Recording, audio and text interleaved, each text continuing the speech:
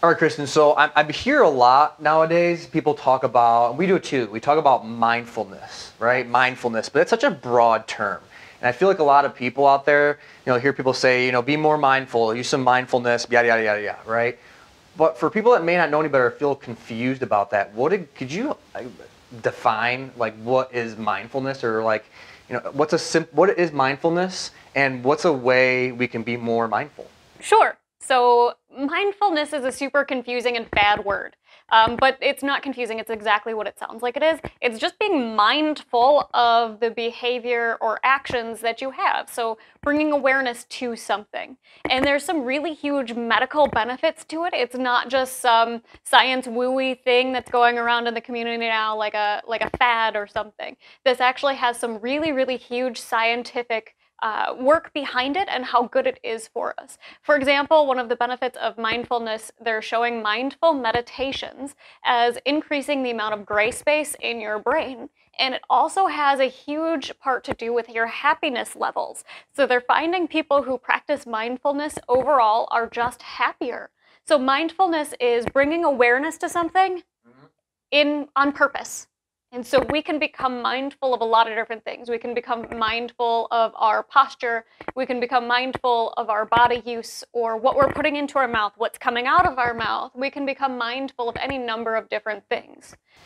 Very quickly, Kristin, you, you said gray space. Would you mind like defining what that is for people who may not know? Yeah, so gray space, the actual amount of matter within your brain that is used for uh, critical thinking skills. So beyond just the organs functioning, of course, your brain controls how your organs work. So beyond the control, the automatic controls of your system, gray space is the amount of brain matter used for conscious thought. Okay, so it sounds like what you're saying is that this is more than just the idea of being mindful. It's actually it's it's it's connecting neurons. You're actually changing your brain. Yes. Okay. You are actually creating better connections between the halves of your brain and between parts of the brains themselves and helping to increase uh, the neural connectivity, which we know is absolutely Im- pivotally important with the aging process. Gotcha. Now, I know this obviously because we work together. It, you teach um, classes, right? You work with groups of people, so on and so forth. And a part of your practice in these classes is to teach some mindfulness. Yeah. Would you mind elaborating on that a little bit? I know it involves some meditation and a few other things. Would you mind uh, sharing that experience uh, that you've had with those individuals? And then maybe something that you have found from that could be a nice little you know, tidbit for our audience to maybe start their own mindfulness practice? Sure. So I teach a mindfulness practice. There's a lot of different ways that I teach mindfulness. Um, my particular style of teaching Pilates is much more about mindfulness, about knowing where your body is in space, what you're using, and bringing awareness to your breath while doing it. So that's one aspect of it. Rolfing is another aspect in which I teach individuals one on one about mindfulness, helping you become more mindful and aware of different parts of your body. So we systematically go through your system and help you bring more awareness and attention to different parts of your body and how you're using them and what they feel like.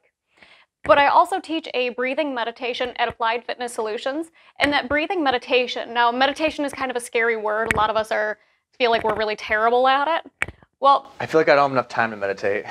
Does that sound about right for anyone? yes, that is something so common that I hear is I don't have enough time. Which there's something fundamentally wrong with that, obviously, and that's why I'm laughing. Uh, what's funny about it is that meditation actually makes you more productive. Yeah. So if we were to meditate more frequently, our time doing other tasks would be more productive. So uh, it, this breathing meditation that I do has different emphasis, emphases, emphasize? Whatever we, we get the point. Uh, different different attentions to it each class. Each one is a little bit unique but they're all based in breathing. So helping you to calm your brain down of the external thought processes which your brain is desire, designed to think right? Your mm-hmm. your brain is a connection making machine. The purpose is to have thoughts. So it, meditation isn't a thoughtless experience. It's just narrowing down to one specific thought. And when other things infiltrate your mind bringing your awareness back to that one thought. So this comes back all the way around to mindfulness. And when we attach breathing to it, it just gives us something to focus on ex- internally versus externally. I see. So it sounds like mindfulness and medita- uh, meditation is just a way of being more mindful. Mindfulness is just being pretty much aware, sounds like, and being intentional.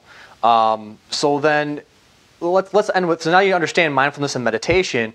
Would you mind giving the audience one simple tip for someone who's never, maybe this is the first time they've heard of mindfulness, um, someone that's looking to maybe try meditation or some mindfulness? What is one stupid, simple strategy they can apply right now? Okay, this is going to sound way too easy to be productive and useful, but it is my number one go to myself. It's what I use the most frequently, and it's the thing that I tell my clients most frequently. And let me interject real quick. The fact that it is like so easy that it seems like it wouldn't be effective makes it effective because there's less resistance to doing it. So Yes. sometimes it's the stupid, simple, easy things that make the biggest impact. Yes, so my stupid, simple, easy thing to do is to focus on breathing. Place one hand on your stomach and one hand on your low back and focus on taking a deep enough breath that you can feel both your stomach and your back expand with your breath. So this this is diaphragmatic breathing and it helps to calm down our nervous system. It helps us to become more mindful of things. It helps us to uh, reappropriate how our emotions are responding to things and how our body feels. So it is such an easy thing to do, but it has such tremendous real health benefits. Got it. It, um, it, what that sounds like to me is that, in, in like the really simple terms, is the you're essentially taking your body from this full of distraction and noise, sort of fight or flight response, and you're you're turned down the volume a little bit to maybe more of a rest and digest and kind of chill mode. And it's an intentful way of doing that. Absolutely. We're intentionally using tactile. So, using your hands helps to bring another part of your brain into the process. So, using your hands to help you refocus your attention onto your breath. That 30 seconds of focusing on your breath can help clear up the next half hour's worth of work. Wonderful. Thank you so much for sharing that, uh, Kristin. Uh, one thing I'd like to say in there too is that you know breathing is obviously very important. Uh, we're all good breathers because otherwise we'd be alive. Hey, right? So Unless you have COVID. oh God, we don't want to go there, right? But breathing uh, is for oxygenation of the blood first, so we can, respirate, we can have, we can be alive, right? And then the, breathing has another function as well as postural stability, which I talk about a lot, i.e., our core. But then also we have breathing in this manner too, right? So breathing is is fundamental, and there's so many there's so many ways, so many benefits to it. And this is just another benefit of how you can use breathing to help with your health and wellness. You know, last final add on to your add on. we just keep adding on all day if we keep doing it, right? right right. So breathing is so fundamental. If you look at the hierarchy of needs in the human system breathing is really the first and foremost. Your body's posture will adapt to your ability to breathe. So your upper body will curl if it's if that helps you take a deeper breath. And so we all talk about posture and sitting upright but really we need to focus on breathing more than we focus on anything else Yeah. so, breathing, if we could just optimize how well we were breathing, we would see a chain reaction throughout the system. Our thoughts would get more clear, our posture would improve, our ability to emotionally regulate ourselves would change. So, breathing, so fundamentally simple, so necessary, so beneficial. I guess we'll just finish it. Thanks for. Do more than just relieve pain, be unstoppable. there you go. All right, so I'm Dr. RJ Burr, Kristin Salinas. and we're at the Reach Rehab and Chiropractic Performance Center, where we believe pain is complex and frustrating. With customized manual medicine and movement coaching, Reach takes the guesswork out of healing. Do more than relieve pain, be unstoppable.